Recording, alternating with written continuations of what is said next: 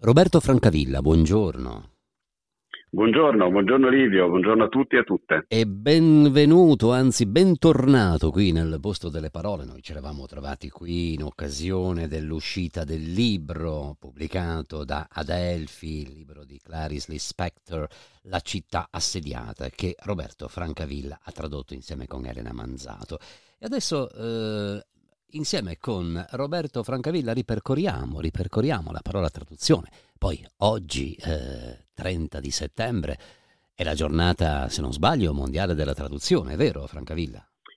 Sì, io mi trovo infatti all'Università di Parma per un convegno dedicato proprio alle traduzioni e alle ritraduzioni e questo sta a significare che è un compito che non finisce mai e fortunatamente non finisce mai. Non esistono versioni definitive di un libro i libri, i romanzi, la poesia eh, hanno una vita eh, veramente inesauribile a cui contribuiamo anche noi con nostra, eh, il nostro modesto eh, contributo traducendoli, facendoli vivere nelle altre lingue. Visto che eh, ha parlato di questi incontri a cui lei ha partecipato questa mattina in occasione della giornata mondiale della traduzione, eh, che, cosa, che, cosa, ci può dire come, come riassunto di quello che di quello che è apparso come nuovo nel corso di questo incontro rispetto alla parola traduzione?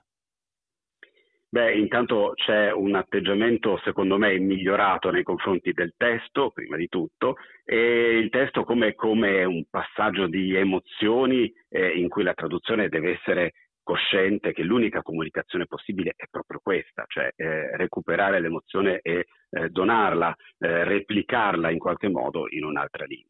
Un'altra cosa fondamentale di cui si parla sempre di più, e questo è un eh, punto che mi preme moltissimo, non è una forma di militanza, o forse sì, eh, l'invisibilità presunta del traduttore vive fino a un certo punto. Il traduttore esiste, deve essere riconosciuto. In Italia purtroppo, eh, lo sappiamo bene, siamo indietro, eh, il, lo, statuto a livello veramente di diritti, perché il traduttore ha tanti obblighi nei confronti de, di un testo fonte, ma ha dei diritti, e questa è una cosa di cui si parla sempre di più, fortunatamente. Il traduttore deve essere visibile, io apprezzo molto, per esempio, gli editori che mettono naturalmente in un corpo eh, minore il nome del traduttore in copertina. Eh, senza il traduttore, ricordiamocelo, il eh, testo il testo letterario, qualsiasi esso sia, rimane ingabbiato nella propria lingua e la lingua quando non si apre, non si apre come si aprono le persone che viaggiano, che attraversano le frontiere, può essere anche una, una, una gabbia. In questo caso non lo è quando i traduttori lavorano bene e fanno percorrere ai testi eh, dei viaggi, viaggi incredibili nel mondo. E poi quando i traduttori lavorano bene arrivano ad avere anche del, dei riconoscimenti, come è giusto che sia. Per esempio, Roberto Francavilla riceverà nel corso del Pisa Book Festival il premio alla carriera per la traduzione. Ora, i premi alla carriera sono molto importanti perché poi eh, sottolineano un lavoro fatto nel corso del tempo, ma sottolinea anche un lavoro molto lungo. Quante sono le traduzioni realizzate da Roberto Francavilla, se si arriva a un numero più o meno certo? Dunque, eh, intanto mh, mi lasci dire Livio che quando si prende un premio alla carriera bisogna sempre preoccuparsi perché vuol dire che è proprio un segno che il tempo è passato in maniera inesorabile. volevo, volevo diciamo toccare quel tema ma mi sembrava poco gentile Roberto Francavini. No, no, invece è giusto farlo perché eh, uno deve, deve, preoccuparsi. Però detto questo io ne sono molto felice. Non ho fatto un, eh, un calcolo eh, numerico delle mie traduzioni che cominciano a essere tante, anche se devo dire che il traduttore è un mestiere che io faccio insieme al professore di letteratura all'università. Io insegno letteratura portoghese e brasiliana, quindi sono due percorsi che naturalmente eh, sono, sono, in stretto contatto l'uno con l'altro, due, due binari paralleli veramente, però sono due mestieri. Detto questo, oggi ripercorrevo nella mia testa i miei esordi e mh, mm, sono molto felice di poter dire che ho attraversato tre, diciamo, i tre contesti linguistici in cui si sviluppano le letterature di lingua portoghese, quelle del Portogallo, quelle del Brasile e quelle dell'Africa di lingua portoghese. Io ho tradotto il teatro portoghese del Cinquecento eh, e ho tradotto gli scrittori della, delle favelas di Rio eh, assolutamente dell'ipercontemporaneità. Ecco, questo è un arco che comprende molto dal punto di vista cronologico, ma anche dal punto di vista spaziale, culturale e, e letterario. Poi naturalmente ci sono gli autori e le autrici feticcio, uno può essere Fernando Pessoa, un altro può essere Chico Buarque, ma naturalmente il feticcio supremo, se così si può definire, è Clarice Lispector, di cui abbiamo parlato all'inizio quando abbiamo citato l'ultimo romanzo da me tradotto con Elena Manzato. E veniamo, e veniamo, proprio a Clarice Lispector, a proposito, lei diceva poco fa di letteratura che ha attraversato i tre contesti no? delle letterature Portogallo, Africa e Brasile e proprio, proprio in Brasile è morta nel 1977, se non ricordo male, a Rio de Janeiro, Clarice Lispector, che era nata eh, in Ucraina. Ora eh, veniamo proprio alla sua figura, perché eh, Roberto Francavilla, oltre che essere traduttore, professore di letteratura portoghese brasiliana, critico letterario, è anche scrittore, in particolar modo di questo nuovo libro pubblicato da Feltrinelli, Città senza demoni. E qui andiamo subito a scoprire l'aria che si respira, partendo proprio, non possiamo non partire no, dalle immagini di copertina. Che cosa ci, che cosa ci racconta questa immagine? È una, un'immagine bellissima, una fotografia di Clarice Lispector. Eh, se ne trovano molte in rete, sono quasi tutte immagini di una donna naturalmente estremamente bella, affascinante, con quelle sopracciglia arcuate che sembrano veramente quasi, quasi feline, eh, col suo fascino eh, glamour, eh, perché è un, è un, culto estetico molto forte, Clarice Lispector non non va, dimenticato. Invece in questa copertina che Feltrinelli ha scelto c'è una Clarice quasi dimessa eh, di profilo alla sua macchina da scrivere, è giovane, sta scrivendo, ci sono dietro delle tende che lasciano, lasciano intendere che ci sia una finestra affacciata chissà dove e lei è concentrata, assorta e secondo me anche nostalgica, sta guardando il suo, il suo foglio, le sue parole con una certa forma di struggimento che è quello che io immagino nel mio romanzo. La mia non è una biografia romanzata, è un romanzo di finzione in cui io ehm, riscrivo, reinvento completamente i due anni che Clarisse ha trascorso a Berna dal 46 al 48, dopo la seconda guerra mondiale, dove segue il marito diplomatico, un diplomatico brasiliano che si trova in Svizzera per lavoro. Sono due anni estremamente difficili, vissuti eh, con una crisi che sfocia in una visaglia di depressione. Clarisse scrive, ma non è soddisfatta di quello che sta scrivendo, ha già scritto il suo secondo romanzo pubblicato in Brasile, ma le recensioni non sono così felici come quelle relative al suo esordio che si intitolava Vicino al cuore selvaggio. E io racconto questi due anni eh, facendo una capriola assolutamente, o forse un salto mortale, che un traduttore forse non dovrebbe fare. Io, io, lo faccio con una certa dose di, di impudenza e di, e di coraggio e cerco di mettermi nei suoi panni. Forse a furia di tradurla eh, l'ho amata così tanto da trasformarla in una specie di ossessione. E l'ossessione però ha dato un buon frutto, perlomeno un frutto creativo, che è questo mio romanzo.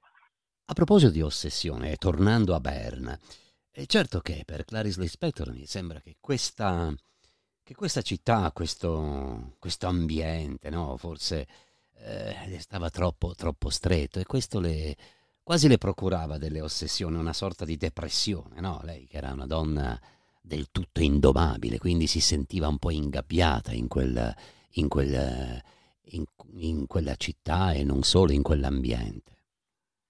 Eh sì, una delle mie linee narrative eh, si riferisce molto al paesaggio, al paesaggio pittorico. Berna è una città racchiusa fra le Alpi, il paesaggio alpino è naturalmente di oggettiva bellezza e lei però non riesce a recepire la bellezza di quel paesaggio, lo vive invece come una sorta di gabbia, si sente chiusa in questo fondovalle, non riesce a godere di quella bellezza come fanno il marito e i suoi, i suoi amici, i suoi sodali in queste estenuanti passeggiate, anela eh, il ritorno in Brasile, anela la sua Rio de Janeiro che poi diventerà comunque eh, il, suo, suo onfalos, il punto dove ritornare e dove poi eh, costruire una vita dopo l'esperienza al seguito del marito diplomatico. E poi c'è l'acqua, c'è l'acqua che la vuole invadere in tutti i modi, che appunto sono le sue ossessioni, come lei giustamente ha, ha detto, sono i suoi demoni, e lei costruisce delle ostruzioni, costruisce delle dighe perché si illude di non crollare, di non, di non, seguire il suo istinto. Prima o poi comunque nella vita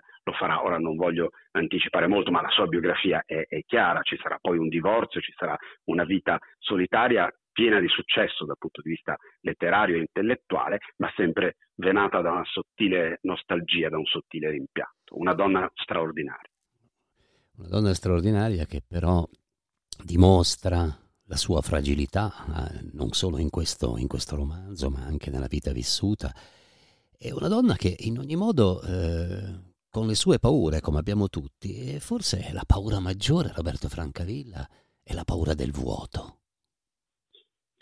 Sì, la paura del vuoto per chi scrive e anche la paura della parola non compresa e questa è una delle sue bellezze, il suo rapporto con la lingua. No? Lei dice, lei, lei, appunto ha questa origine eh, lontana, lei proviene da una famiglia eh, di ebrei ucraini e, fa, e, ha questa esperienza terribile del pogrom che la segna eh, con, con, la, con, la, violenza, con la fuga, è ancora in fasce quando con la madre, il padre e le due sorelle arriva in Brasile. E a un certo punto decide che la sua lingua eh, è il brasiliano e chiede addirittura al dittatore Getulio Vargas in una serie di lettere bellissime, dice io sono una russa che non parla il russo, sono brasiliana e voglio la cittadinanza.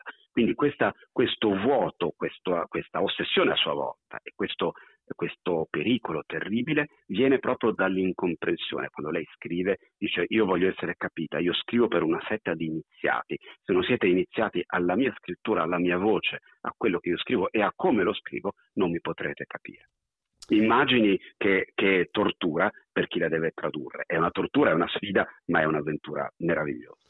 È un'avventura meravigliosa per restituire quello che ci diceva poco fa in apertura di conversazione Roberto Francavilla, eh, recuperare l'emozione replicarla in un'altra lingua, seppure a volte con il lavorio su, su una parola anche sola. Clarice Lispector è forse una delle poche scrittrici che hanno veramente imposto a noi lettori una voce, una voce diversa, no? una voce profondamente audace, ma non audace nel senso di creare stupore per stupire, pure paté le bourgeois, come dicevano i francesi.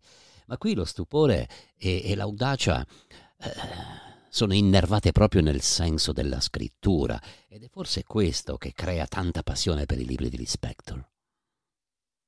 Sì, questo sicuramente è uno degli indizi migliori per avvicinarsi alla sua scrittura. Lei dice scrivere è, un modo, è uno dei modi di fallire, quindi è già consapevole di questo fallimento implicito. Se noi sappiamo questo, la prendiamo, la leggiamo e leggiamo tutto quello che scrive come vuole lei, come vuole essere. Questa è un'esperienza straordinaria. Infatti Clarisse, chi legge Clarisse o si allontana subito o la ama in maniera viscerale. Eh, devo dire che Clarissa ha una lingua molto particolare, ma non viene dalla sua origine lontana, dalla sua ascendenza ebraica, neanche dal, dallo Yiddish che in qualche modo sta nella sua lingua, ma è una lingua strana perché lei la compone in quel modo. È un atto creativo, un atto di poetica e di lingua e a eh, questo lo scrittore, il lettore e il traduttore lo deve sapere. C'è una, una, un'intenzione, un'intenzione progettuale. Lei lo dice chiaramente, a un certo punto negli anni 50 viene tradotta in Francia e il suo eh, il suo editore francese le scrive una lettera facendole complimenti per la bellezza della sua opera, ma dicendo ah, i nostri traduttori hanno cambiato qualcosa perché c'erano alcune piccole questioni grammaticali, sintattiche da rivedere. Lei ovviamente si arrabbia moltissimo e risponde piccata, non avete capito nulla, non, sono errori, io parlo perfettamente scrivo perfettamente il brasiliano, sono scelte stilistiche. Allora, noi dobbiamo quando leggiamo Clarisse dobbiamo capire che lei, lei, dice scrivere è una maledizione. La maledizione ce l'ha, gli è stata fatta questa maledizione e la porta fino ai gradi estremi, con un coraggio incredibile ma con tantissima bellezza. La sua è pura bellezza. E può apparire anche, diciamocelo, spero di non sbagliarmi, Roberto Francavilla, lo dico da, da, semplice lettore, anche confuso e distratto, può apparire per certi aspetti anche un po' antipatica, no? Clarice Lispector.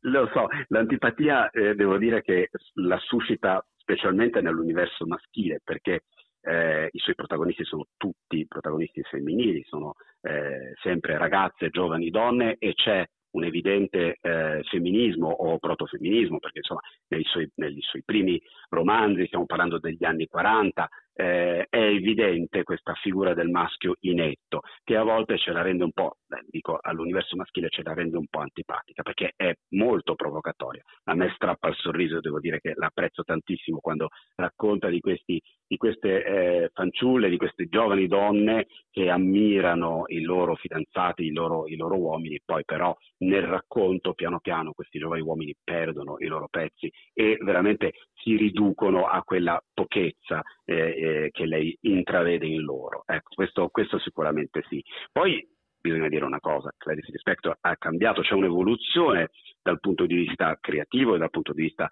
di eh, poetica e di linguistica nella sua, nella sua, carriera. Quando scrive negli anni 40 e quando scrive i suoi ultimi testi, eh, penso per esempio a un testo magnifico come Acqua Viva che ho avuto l'onore di, di tradurre, che è molto intimo e molto vicino alla morte, eh, c'è un atteggiamento che apparentemente può sembrare delirante, perché è un testo di una intimità sconvolgente e di una donna che sa già di dover morire. Ricordo che Clarice Lispector è, è, è scomparsa a seguito di una, di, una, di una, malattia e lei sa di dover morire e scrive questo testo, è una specie di testimonianza della sua esperienza, nominando raramente la morte, ma facendocela, diciamo così, toccare molto da vicino. Questo lo sanno fare solo i grandi scrittori.